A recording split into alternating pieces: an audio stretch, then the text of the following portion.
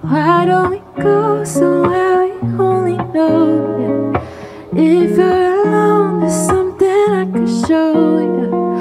Over the clouds, yeah, we've been there before. So why don't we go? Yeah. Why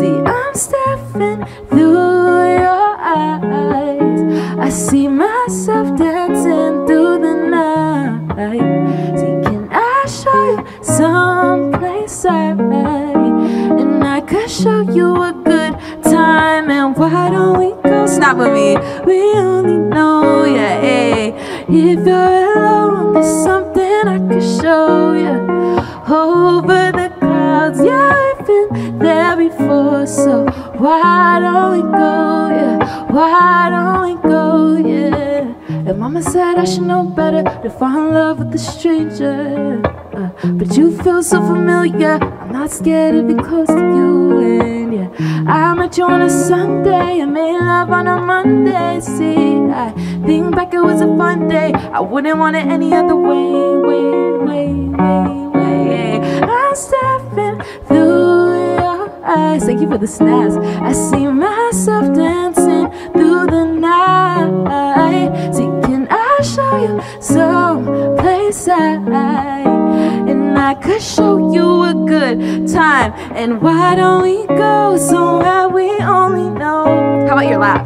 If you're alone, hey, uh, uh, over the clouds, yeah, we've been there before. So why don't we go? Yeah, why don't we go? And the clap go. Why don't we go somewhere we only know? Yeah, see, come into me, into my waterfalls. Yeah, over the clouds. Yeah, we've been there before. So why don't we go? Yeah, why don't we go? Yeah. So I guess to start, um, umi is a very fun word to say, um, and it has a very special earthy meaning. So can you tell us what umi means, and then what are some of your favorite places to be in nature?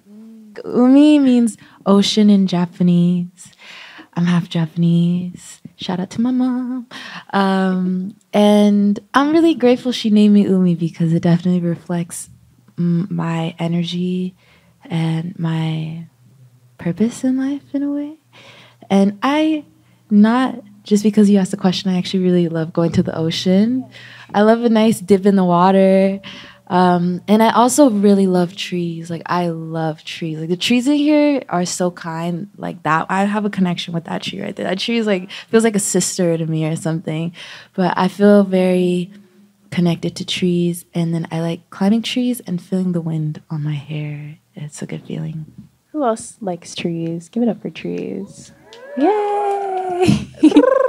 There's a mm. book, it's called either The Hidden Life of Trees or The Secret Life of Trees. If anyone knows what the correct one is, shout it out. Hidden? Yay! Okay, it's a really good one. And apparently, trees build community with each other. So, when you see a tree, especially if it's in an urban environment and it's kind of far away from its other tree friends, give it a little hug or say hello because it's kind of disconnected. They are all connected in community, just like we are here right now. And that's a great book. Um, so, to get into it, one of my favorite songs of yours is Butterfly. Yeah. Thank you. That's a great song. It's a beautiful song. and I think I love it so much because there's kind of this nature metaphor that's flowing throughout it, and you're relating to the butterfly, and you're like, I kind of want to like uh, be like you, or am I like you, or what's happening?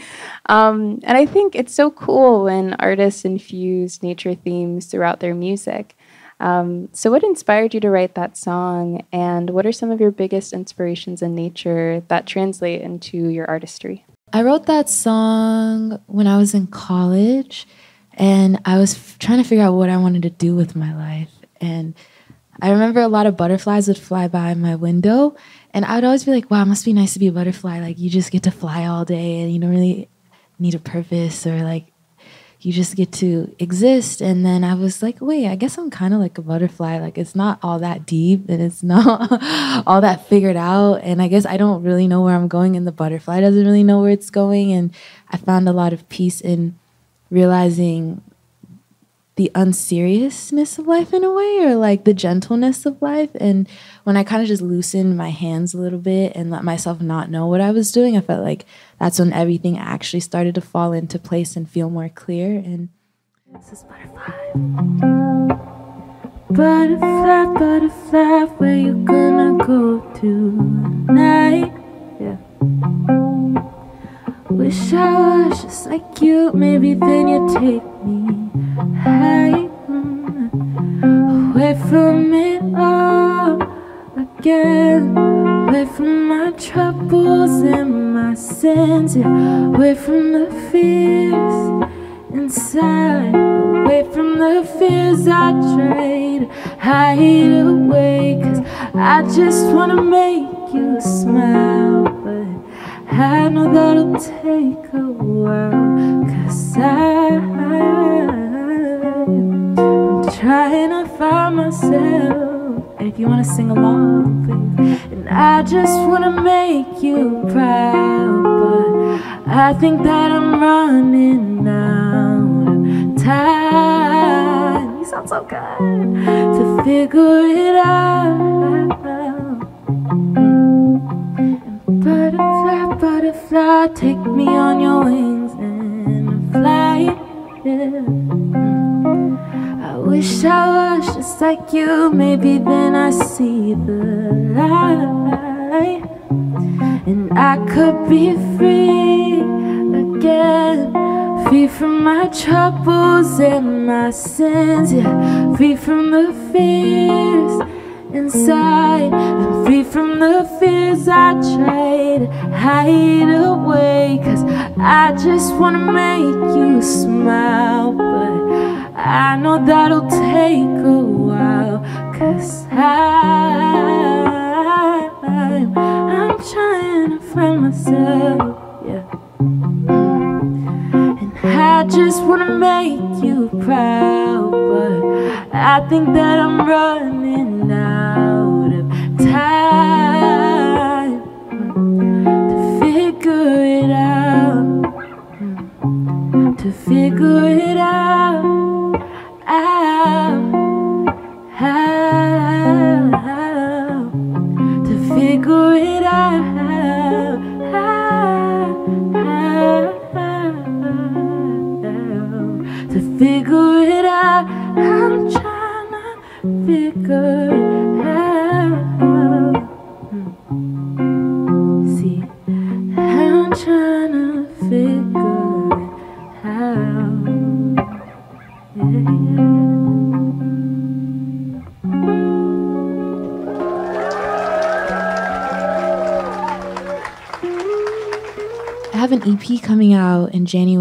called Talking to the Wind. And I think the wind actually inspires me a lot more than I even realize because I like to go outside when I'm confused and talk to the wind.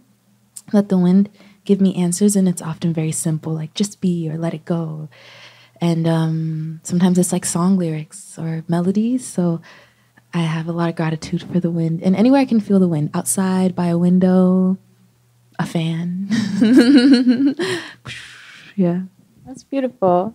Um, I think when it comes to environmental activism or activism in general, sometimes people don't really know where to start. And I think you can play any role, even if it's like an adjacent role. And I think creatives in particular are just, I feel like they're underrated when it comes to helping to spark movements of change. And I think it's been really cool, especially in the last week, seeing you utilize your platform in really beautiful and healing ways. Um, so, what role do you think creatives can play in the movements that they care about?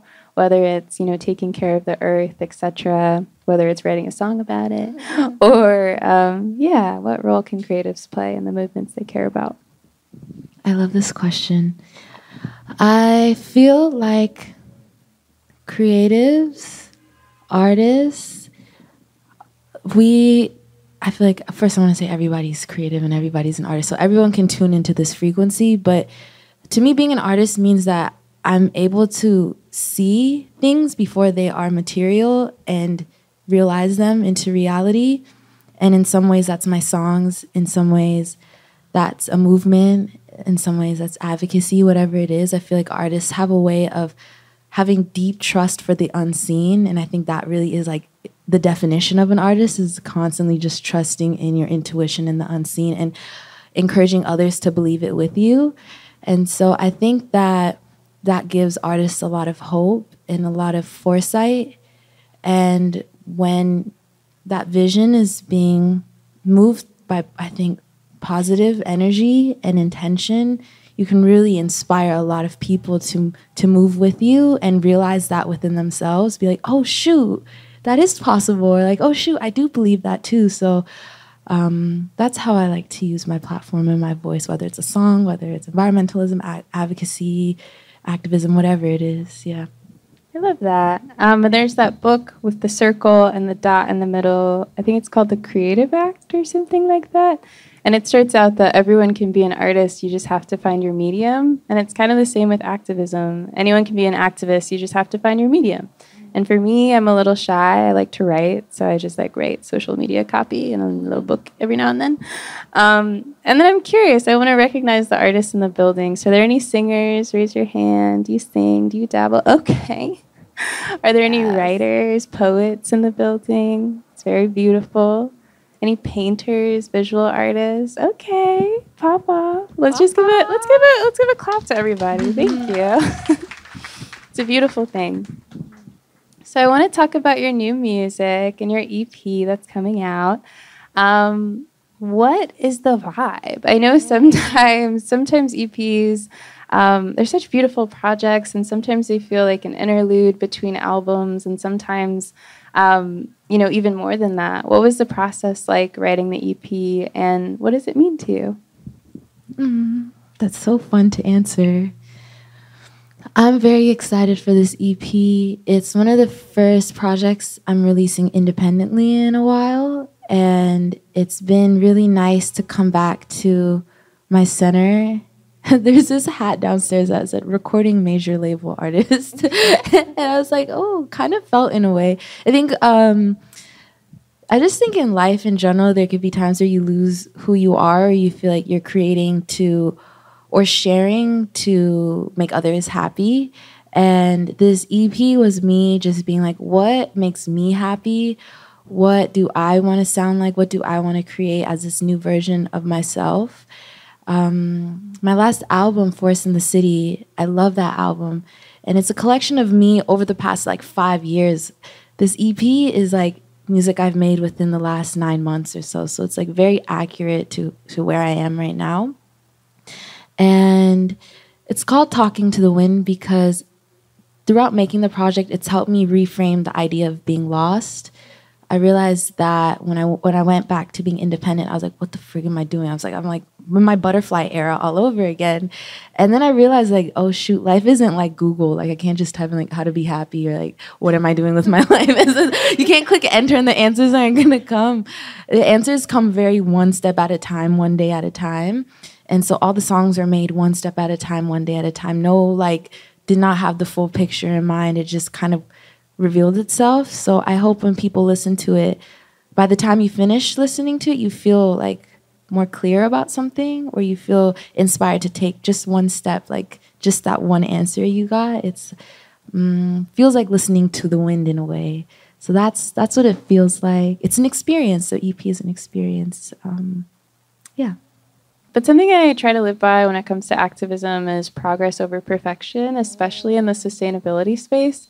Um, I think before I made my Instagram, um, where I was talking about environmentalism, I thought I needed to like wear all beige and like only have mason jars and like fill them up with all of my trash. And I was like, I'm failing every day. Um, and it was really cool to meet other people in groups like Hike Clerb and Outdoor Afro and Latino Outdoors to be like, whoa, I can actually show up exactly as I am with my mom's like butter containers or whatever it is, or using that cookie little cont- Danish cookies that are not for cookies, Oh, sewing hair products and the hair products and things like that. And then I realized I was like, oh wait, thrifting is also good for the planet, and there are all of these things, and it was great to know that progress is so much better than perfection when it comes to sustainability, and then also just how we navigate throughout this world.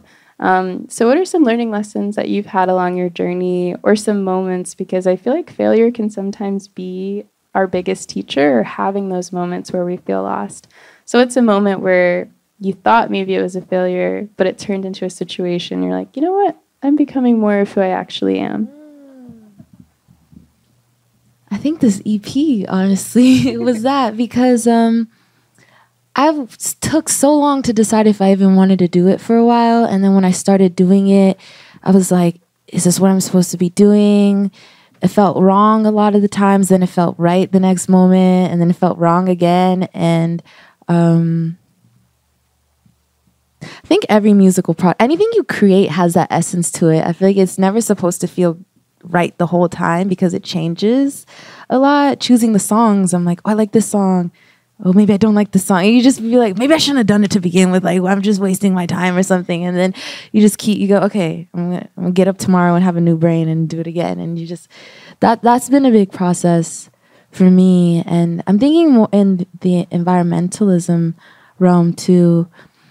I mean, I think there's a lot of ways, for example, when I'm touring, where I try to be as sustainable as possible, but I'm also learning as I go of like changing up my rider, asking people, like, please don't give me water bottles, just give me like a big jug of water. And then I have no water for the show. And I'm like, oh shoot, okay, I gotta reframe how I said that. Or like, I'm like, can we, can we do like, and it was just little things like that where I try my best and then I go up and down and I go left and right. And then over time it settles in a place. So I think, like you said, it's just important to try something than to do nothing at all. Um, and I think the last thing I want to add is maybe another definition to being an artist is not stopping when you make a mistake. It's just like the commitment to not ever giving up. Um, so I think that what you said feels very much like a very artist focused kind of thought process. So, this is one that we sometimes ask people outside of Earth sessions, which is a little random. But if you had to, like, if you're thinking about the Earth and it had to have a sign, like an astrological sign, and don't just say an Earth sign, just say an Earth sign. But what sign do you think the Earth would be? I'm a Sagittarius, so I see Sagittarius everywhere I go. Um, but what sign do you think the Earth would be? An Aquarius. Okay.